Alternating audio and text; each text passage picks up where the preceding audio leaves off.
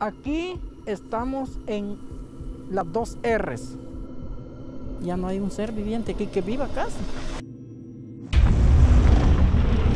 Central America is simply too close for us to ignore the danger of governments seizing power there with ideological and military ties to the Soviet Union. The Guatemalan conflict stands out for the one-sidedness of the conflict, basically the Guatemalan military against leftist guerrillas.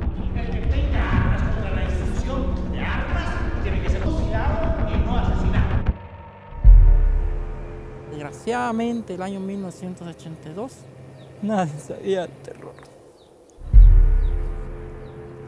Cuesta recordar ese día. Yo llevaba una niña y a dónde me lleva me dice, es que te van a ir a vacunar. Vacunar quiere decir a, a ejecutarlas. Better start praying because nobody will save us from this.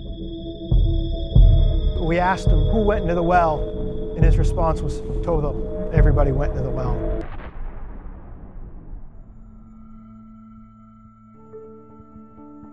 One of the things that makes this case stands out is that there's a weak link.